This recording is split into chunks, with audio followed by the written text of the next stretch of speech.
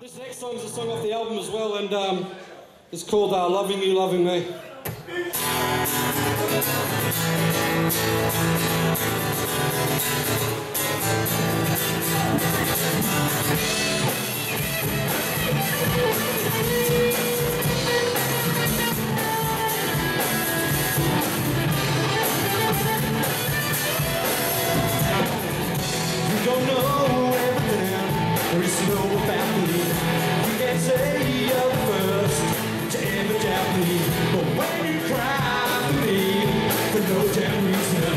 I love